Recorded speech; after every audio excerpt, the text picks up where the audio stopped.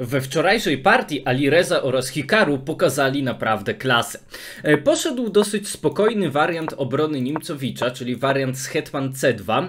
E, ogólna idea jest taka, żeby zabezpieczyć skoczka na C3, e, ponieważ jeżeli po A3 mm, czarny zbije na C3, wtedy trzeba odbijać pionem i struktura pionowa jest zepsuta, stąd Hetman C2. Roszatka A3, goniec zbił na C3, Hetman odbił. W ten sposób biały zdobył parę gońców, e, natomiast zauważcie, że wprowadził tylko piony oraz hetmana do gry, no i ten hetman jeszcze tutaj może być dalej poganiany, e, więc e, biały rzeczywiście ma parę gońców, ale tutaj król na dłuższą chwilę będzie w debiucie. Czarny D5, nastąpiło goniec G5 i Hikaru zdecydował się zbić na C4. Bardzo często też w takich strukturach jest grywane H6 e, z ideą, żeby natychmiastowo pozbyć się tego problematycznego związania. E, I teraz, jeżeli goniec odchodzi na H4, no to często nawet G5 skoczek E4 można rzucać. Więc zazwyczaj biały wybija, no i dostajemy e, tego typu pozycję, gdzie czarny dąży do posunięcia E5, czyli przygotowuje tam wieża E8, no i wtedy sytuacja bardzo mocno się upraszcza, no taka z gatunku, z gatunku bardzo remisowych. Mm, więc Hikaru tutaj debije C4, e, Hetman odbił i B6, czyli goniec, goniec wkroczy do akcji, wykorzystując, że ten Hetman jest eksponowany.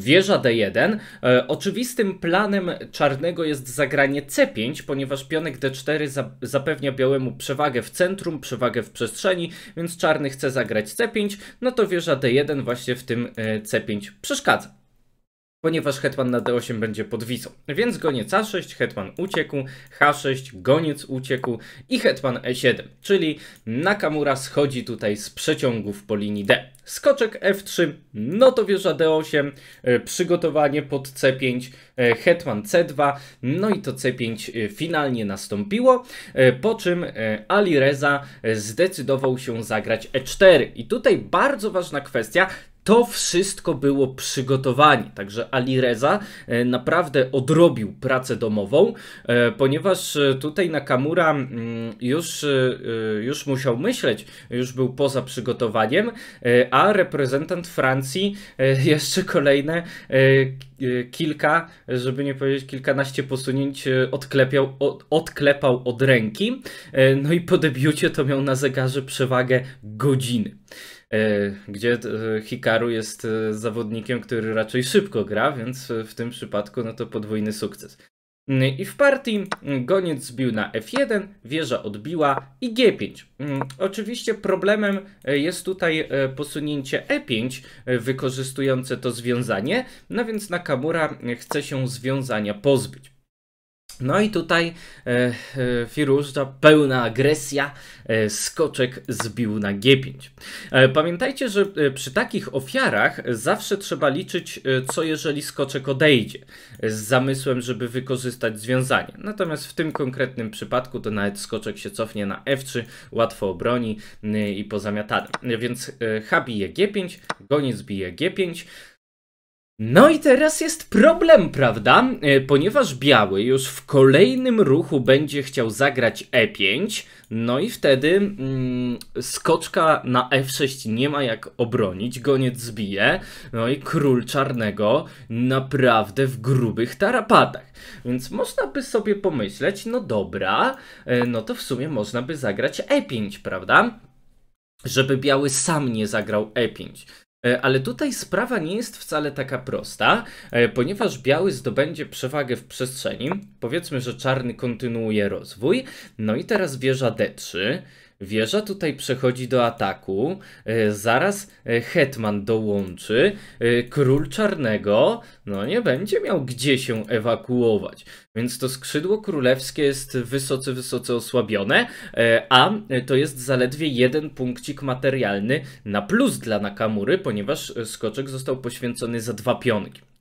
No więc są tutaj naprawdę realne problemy. E, ale Hikaru e, naprawdę jest bogiem, e, jeżeli chodzi o liczenie wariantów. Ta, mm, taka obliczeniowa, taktyczna kreatywność u niego jest na naprawdę wysokim poziomie. Co zabawne, mm, ta mm, umiejętność świetnego liczenia wariantów często bywa w ogóle problemem u Hikaru, ponieważ on w wielu pozycjach, które są spokojne, wręcz zbytnio stara się liczyć warianty tam, gdzie nie ma takiej potrzeby. To, to było jego, jego głównym problemem zanim jeszcze się rozpoczęła ta jego cała kariera e, streamerska, kiedy tam miał 2800 elo, to właśnie e, często starał się e, forsować w końcówkach jakieś skomplikowane warianty, gdzie trzeba było grać na spokojnie i dociskać przeciwnika, czyli coś w czym, w czym Carlsen jest mistrzem. On właśnie tak raczej na spokojnie technicznie wymęcza przeciwników w, końc w końcówkach. Natomiast tutaj Hikaru naprawdę pokazał tę obliczeniową klasę skoczek C6. No i można sobie pomyśleć, no głupi, nie? E, no przecież wchodzi tutaj posunięcie E5 pozamiatane. Otóż nie, e, ponieważ jest skoczek bije D4. I teraz jak hetman odejdzie, hetman B7. Goniec bije F6 i już widać tego mata na G7 za chwilę ale jest hetman bije g2 i okazuje się, że ta pozycja na jedynych posunięciach ale się rzeczywiście trzyma. No, linia G całkowicie otwarta, e, ale król białego wcale nie jest tutaj jakoś e, dobrze zabezpieczony. E, a jeżeli biały będzie chciał ewakuować tego króla, żeby sobie wrzucić wieża G1, to skoczek F3 i wcale ten król na C1 nie jest, tak, nie jest tak do końca bezpieczny, bo wieża D4 y, odejdzie, y, pole G1 jest zabezpieczone no i właściwie y, są tutaj naprawdę realne tarapaty po stronie białego. A jeżeli bicie na D8 to wieża bije i teraz materialnie jest jakość E, do przodu po stronie białego, ale e, bez gońca na F6 nie ma jak atakować tego króla. Król nawet e, stanie sobie na F8, jest całkowicie bezpieczny. A ten król na E1 to tak średnio bym powiedział ma gdzie uciekać, plus też te pionki są naprawdę słabe. No więc E5 rzeczywiście tutaj nie działa. No więc Alireza leci dalej przygotowaniem. Nastąpiło hetman C1. No i tutaj Hikaru y, dalej gra bardzo precyzyjnie. Y, wieża zbiła na D4. Wieża odbiła, skoczek zbił, no i hetman F4. Więc prosta sprawa, y, Ali Reza chce zgarnąć na F6. No i teraz bardzo ładna sekwencja, która tutaj wyrównuje. Skoczek C2 szach. To zaraz sobie zobaczymy.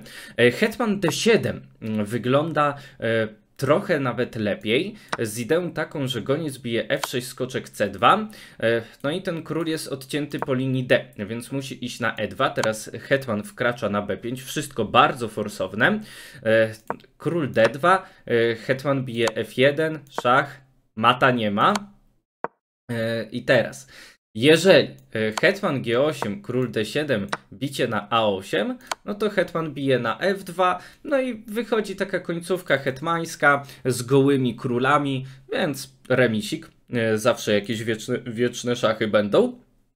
No ale biały ma y, taką opcję i powiem wam, że to mega, mega ciężkie do ocenienia. Oczywiście oba króle są osłabione, więc przy hetmanach na szachownicy no to ciągle będą groziły wieczne szachy z jednej i z drugiej strony, więc najpewniej partia powinna się zakończyć remisem, ale jednak tutaj cztery pionki na zero e, na skrzydle królewskim, więc e, wszelkie końcówki bez hetmanów, no to są problematyczne dla czarnego. E, więc tutaj Hikaru zdecydował się na skoczek C2 szach od razu, król odszedł na D1, szach na D7 bicie, szach na A4 i teraz król nie ma, nie nie ma dobrego odejścia. To znaczy, y, król w partii poszedł na b1, no i tutaj y, udało się na kamurze wymienić hetmany, no więc teraz już król jest bezpieczny. E, natomiast jeżeli ten król e, odszedłby przykładowo na, e, przykładowo na C1, no to wtedy za to mm, ta wieża w potrzasku. Także Hikaru naprawdę bardzo ładny manewr wynalazł, żeby sforsować wymianę hetmanów, no i w ten sposób obronić swojego króla. Niemniej, tutaj partia się nie zakończyła, ponieważ materialnie owszem jest porówno, ale jednak biały ma wolnego pionka na linii H, e, plus w dosyć otwartej pozycji ma gońca, e, więc są tutaj dalej duże szanse, żeby cisnąć na wygraną. Więc Hikaru stara się oczywiście blokować te piony ze skrzydła, ze skrzydła królewskiego. No to G3. E, oczywiście F3 od razu z planem G4 zagrać nie można, bo będzie blokada. Stąd najpierw G3, królew 7, F3. No i rzeczywiście te pionki e, zostały tutaj e, uruchomione. Mm, natomiast Hikaru z drugiej strony uruchamia swoją przewagę na skrzydle hetmańskim. No i teraz pytanie, kto pierwszy będzie mm, w tej pozycji. Biały ma gońca, E, a wiadomo, goniec może na obu częściach szachownicy działać naraz, więc to jest e, fajna przewaga. E, choć ten skoczek centralnie ustawiony też jest naprawdę silną figurą. I tutaj Alireza znalazł fajny ruch wieża D1. Grozi bicie na F5, no bo pionek musi bronić i kolegę na F5 i skoczka na D5. Więc nastąpiło wybicie, no i A5. Hikaru leci dalej. No to za to Alireza leci swoimi pionami. Wieża G8. Tutaj mm, Hikaru powinien raczej pchać te piony dalej, jak najszybciej, żeby wytworzyć wolnego pionka i ten wolny pionek będzie odciągał figury białego białego, figury białego będą musiały go blokować. E, a co za tym idzie, e, biały nie jest w stanie się, e, nie będzie w stanie się w pełni zaangażować w pchanie pionów na skrzydle królewskim. Natomiast w partii poszło wieża G8. No niby tutaj pionka, pionka czarny zdobędzie, ale jest szach i po odejściu króla H6. Jeżeli król odchodzi w tym kierunku, no to już na luzie goniec C1, G5 i te piony idą dalej. E, więc e, król E8, H6, gońca zbić nie można, bo H7. I pionek jest nie do zatrzymania, więc wieża F8 i tutaj, e, i tutaj e, Ali Reza e, popełnił e, kluczowy błąd. Ogólnie muszę wam powiedzieć, że jest pewna rzecz, która mi się nie podoba na tym turnieju kandydatów, a jest to mianowicie tempo y, gry. Ponieważ, drodzy widzowie, tempo gry jest takie: dwie godziny na start. Po 40 posunięciu zawodnicy dostają jeszcze dodatkową godzinę, a po 60 posunięciu dostają jeszcze dodatkowe 15 minut i od 61 posunięcia zegar zaczyna dodawać 30 sekund za każde posunięcie. Więc tego czasu jest naprawdę za dużo jest za dużo, bo w 42 posunięciu, to jest 36, e, w tym, momen w tym momencie e, Alireza myślał 62 minuty nad jednym ruchem. Ja oczywiście rozumiem, że szachy klasyczne, drugi najważniejszy turniej, mm, pierwszy jest oczywiście mecz, y, meczą Mistrzostwa Świata, ale jednak jak mamy sprzedać te szachy yy, dla mas, jeżeli nad jednym ruchem zawodnik może myśleć 62 minuty. E, no, no, no to, to jest naprawdę delikatna przesada. E, no dobra, więc w tej pozycji mm, Alireza popełnił błąd wymieniając wieżę. E, podejrzewam, że Alireza po prostu błędnie policzył warianty, e, a Hikaru policzył naprawdę perfekcyjnie, e, ponieważ po wymianie wież końcówkę da się uratować czarnymi, ale trzeba grać naprawdę turbo precyzyjnie. Lepszym pomysłem byłoby zagranie wieża C1. E, ogólna zasada też jest taka, że wieża z gońcem lepiej współpracuje niż wieża ze skoczkiem, e, a tutaj dodatkowo e, jest taki myk, że można zagrać posunięcie A4. W ten sposób biały rozbija te piony ze skrzydła hetmańskiego i, i czarny ma dużo problemów bo po pierwsze musi blokować te pionki na skrzydle królewskim, po drugie musi się bronić na hetmańskim, no a wiadomo, że obrona w dwóch częściach szachownicy jest ekstremalnie trudna. Więc tutaj przykładowo król f7, a4, król g6, goniec odchodzi, no i mamy tego typu końcówkę, e, gdzie e, naprawdę biały ma e, bardzo duże szanse do gry na wygraną. Oczywiście wieża czarnego też całkiem nieźle się tutaj aktywizuje, ale jednak te słabości czarnego dosyć szybko się tutaj sypią. Więc w partii poszło wieża bije f8, król bije f8, goniec d8, no i tutaj a4. Piękna blokada. Zauważcie, jak ten centralnie ustawiony skoczek perfekcyjnie współpracuje z tym pionkiem. E, odcina tutaj taką, taką barykadą skrzydło hetmańskie, a co za tym idzie, król białego nie ma jak przejść.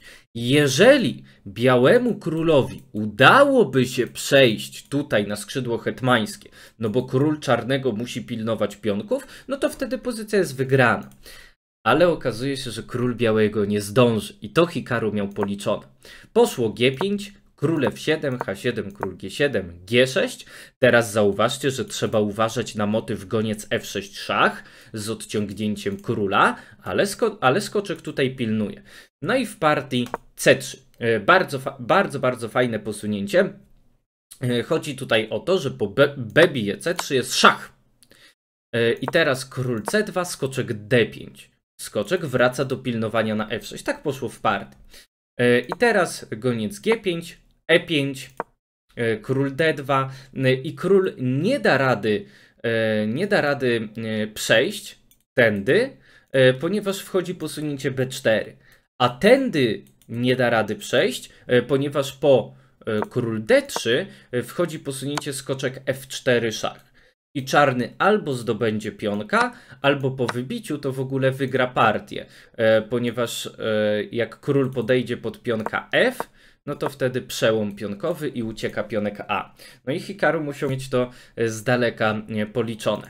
No i rzeczywiście finalnie król tutaj poszedł, poszło B4, no i tutaj idealnie co do tempa e, się ta końcówka e, zgadza. No i czarny jest w stanie utrzymać remis. E, także Hikaru wpakował się tutaj w przygotowanie przeciwnika. To skoczek, skoczek bije G5 było wszystko częścią przygotowania. Pierwsze zastanowienie Alirezy było dopiero w 26 posunięciu. Więc dopiero jak wyszła ta trochę lepsza końcówka, to dopiero w tym momencie e, Alireza zaczął myśleć. Także e, naprawdę Alireza tutaj z przygotowania zagrał e, perfekto, ale Hikaru no, gryzł tutaj dechę, liczył te warianty, zużył praktycznie cały czas, yy, który miał do namysłu, ale wszystko idealnie wyliczył, no i rzeczywiście czarny mi wyrównał. Także naprawdę klasa zawodnika. Były też bardzo duże dymy w partii Ding kontra Raport, ale, ale po kolei, no Muszę przyznać, że e, Rajabow, nie wiem czy wrócił do swoich internetowych przyzwyczajeń czy co, e, ale zagrał naprawdę nijaką partię. E, po, poszła katalonka, zdecydował się tutaj wybić na C5, wszedł w taką końcówkę, no i pozwolił, poz, pozwolił przeciwnikowi dosyć gładko wyremisować. Ogólnie w tych końcówkach biały jest w stanie cisnąć na przewagę.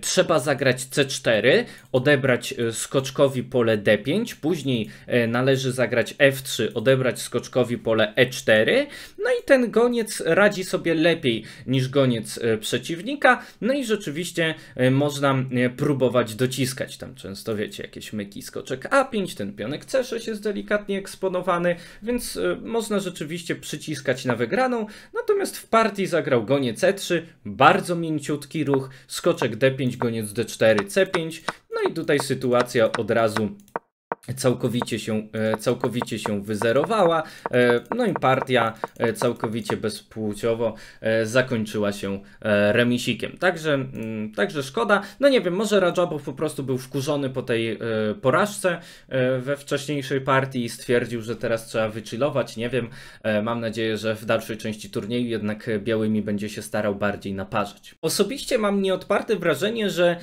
Ding w tych turniejach kandydatów łapie jakąś presję, może stres, nie wiem, ale e, mam wrażenie, że gra e, znacznie, znacznie e, poniżej swoich normalnych umiejętności. Tak przynajmniej jak porównuję sobie jego partie ze zwykłych turniejów z tymi partiami z turnieju kandydatów tego i poprzedniego.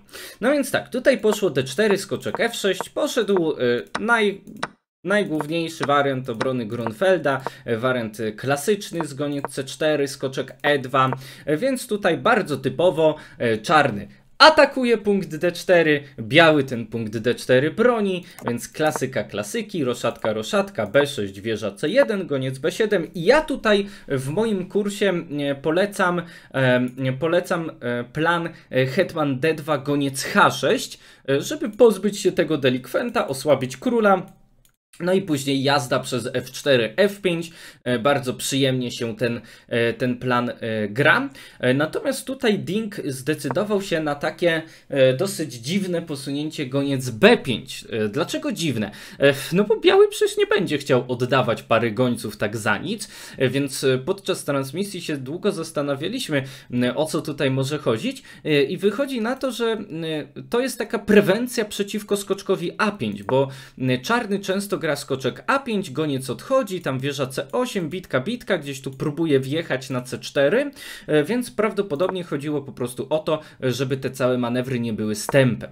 Raport wieża C8, hetman D2, wybicie, wybicie, hetman D6, robi miejscówkę dla wieży, żeby zwiększyć presję na D4, no to Ding tutaj zabezpieczył, no i hetman B4, e, propozycja przejścia do e, końcówki. E, końcówka jest na minus dla białego, bo czarny ma dwóch na jednego na hetmańskim, więc czarny jest w stanie wytworzyć wolnego pionka, więc końcówki w obronie Grunfelda są w porządku dla czarnego E, taka ogólna zasada. Mm, więc tutaj biały ucieka, E6, no i e, Ding odpala rzeczywiście agresję na skrzydle królewskim, H4. E, tutaj oczywiście można by zagrać coś w stylu H5, choć jest to już pewne osłabienie pozycji Czarnego Króla. No chociażby punkt G6 się osłabia, więc tutaj wiecie, już zaczyna pachnieć jakimiś ofiarkami, czy to na G6, czy to na E6, tym bardziej, że większość figur Czarnego jest skoncentrowana na skrzydle hetmańskim. Więc tutaj już by było jakieś E5, no i właśnie tym punktem G6 by się e, Ding zainteresował.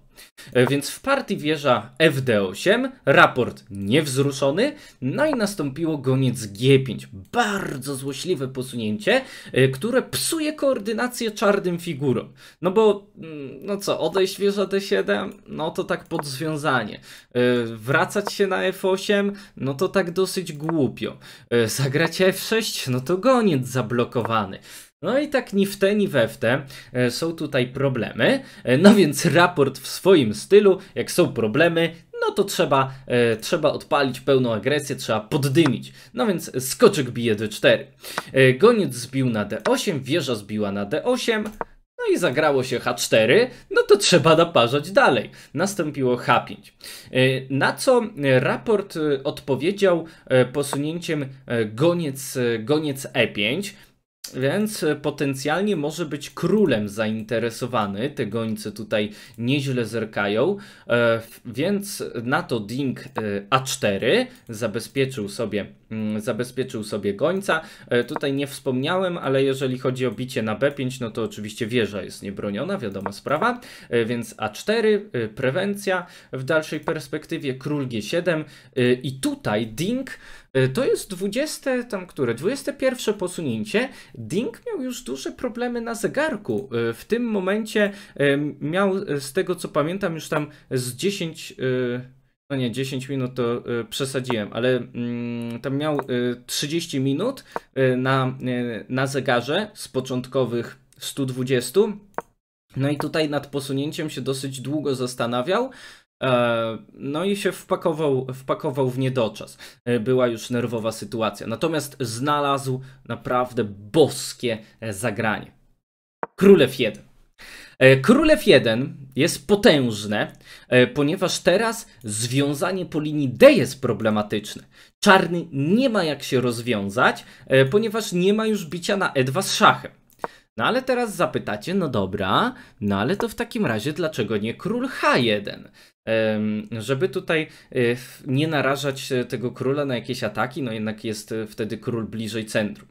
E, okazuje się, że teraz leci bardzo forsowny wariant skoczek bije e2, e, hetman bije d8, mm, i chciałoby się, wiecie, wrzucić H6 albo hetman G5, H6, e, żeby dojechać tego króla, ale wchodzi hetman bije E4 i po hetman G5 z planem H6 i z planem zabezpieczenia na G2, no bo po H6 jest wałek, tak? Bo ósma, y, król musi odejść na ósmą linię i dostaje matę. E, no ale tutaj jest ruch skoczek G3 szach. E, I okazuje się, że e, wchodzi po prostu nieuchronny mat, mat na G2. Więc nastąpiło król F1, skoczek bije E2, no i teraz zmaścił sprawę Ding. Nie wiem, czy właśnie presja czasu, czy co, czy, czy bał się zaryzykować. No nie wiem, ciężko mi powiedzieć. Mm, natomiast tak jak śledziłem jego partię, E, w kwietniu, e, co, się, mm, co musiał naklepać te 30 partii tempem klasycznym, żeby się dostać do turnieju kandydatów, no to tam takie skomplikowane warianty to takowy liczą. E, wszystkie naprawdę jakieś chore rzeczy, no obliczeniowo tam szalał, a tutaj jakoś zabrakło, nie wiem, werwy, skupienia, no jakiś tam problem ma.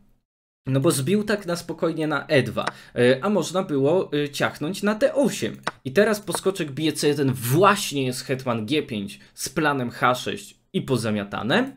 E, a jeżeli hetman bije na E4, no to teraz jest różnica w stosunku do króla na H1, bo można zbić na E2. I wychodzi taka końcówka. E, no i powiem wam, że e, bardzo ciężko, e, bardzo ciężko jest coś takiego ocenić, ponieważ z materialnego punktu widzenia, no to mamy tak, dwie wieże za gońca oraz cztery pionki. No bo te, tego pionka można spisać na straty. Bardzo, bardzo złożona pozycja, ponieważ ten król osłabiony, ale jednak no te dwie wieże e, bardzo, bardzo silne. Król Czarnego też nie jest jakiś e, perfekcyjnie zabezpieczony. Te czarne pola dosyć słabe, więc jak najbardziej e, można dalej naparzać. Mm, no a Dink jakoś się na to nie zdecydował. Nie do końca rozumiem dlaczego. Zagrał na spokojnie Hetman bije E2, no i to pozwoliło raportowi dosyć gładko się tutaj wybronić, ponieważ teraz materialnie jest oczywiście punkcik w plecy, ale ale przestawi sobie gońca na d4, zabezpieczy punkt b6, no i biały nie ma jak ugryźć tej pozycji, no i rzeczywiście mm, po e, tam kilkunastu posunięciach e, partia się e, zakończyła remisikiem. E, także mm, coś, coś, coś tutaj Dingowi w tym turnieju kandydatów e, nie gra. I w poprzednim turnieju kandydatów też tak było. Tam zaczął turniej chyba od dwóch porażek, także naprawdę fatalnie. Tu, tutaj niewiele lepiej, bo jedna porażka, dwa remisy. No a szczególnie w tej tutaj partii z raportem naprawdę miał realne szanse, żeby cisnąć na wygraną, żeby skomplikować pozycję, ale jakoś na te komplikacje bał się pójść. A byłem pewien, że e, on właśnie pójdzie na ten wariant, no bo jeżeli już znalazł e, to e, potężne posunięcie królew 1, które sprawia, że wszelkie te taktyczne możliwości działają, no to uznałem, że już pójdzie za ciosem i rzeczywiście będzie ta parzanka, a jakoś tak zagrał dosyć niemrawo. Natomiast jeżeli chodzi o Jana Krzysztofa Dudę, zagrał naprawdę bardzo dobrą partię, pełna agresja. Czarnymi wrzucił wariant Najdorfa Karuanie. E, pełna analiza tej partii znajduje się e, na kanale e, Czeską Polska. No i teraz zobaczmy, jak układają się wyniki. Jeżeli chodzi o wyniki, to nie mamy tutaj żadnej zmiany, ponieważ nie, nie spoilerując, żadne, żadnej wygranej, żadnej przegranej nie było. Partia, wszystkie partie trzeciej rundy zakończyły się remisami, więc dalej Jan Krzysztof Duda w środku stawki ma szansę oczywiście oczywiście, żeby się przebić e, do czołówki, no tylko e, trzeba wygrywać. E, jutro, to jest 21 czerwca o 15 mierzy się białymi z Rajabowem, który aktualnie na dorobku ma jeden punkt. No wiadomo, że ten początek turnieju Rajabow ma dosyć niemrawy, ale dalej jest silnym szachistą, dalej trzeba na niego uważać, chociaż oczywiście liczymy, że Duda tam przeciwnika dociśnie. Daj znać w komentarzu, jak obstawiasz, czy Duda zdecyduje się na posunięcie E4 czy D4 w pierwszym ruchu. E, póki co mm, stosował E4. E, zobaczymy, czy tutaj nastąpi jakaś zmiana. Także cóż, mam nadzieję, że podobało Ci się to podsumowanie. Widzimy się w kolejnych. Dzięki za uwagę i pa pa!